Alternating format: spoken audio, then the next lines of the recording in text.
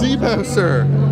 What did you think about Draymond Green saying uh, Kelly Olynyk's a dirty player?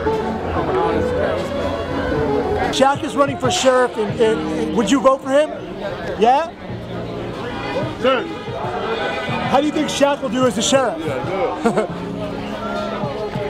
Could he do the commercials as well as be sheriff, you think? Hey, that's the new Trailblazers logo on your hat, bro? Chris. Yeah. Hey, what do you think about that new logo, bro?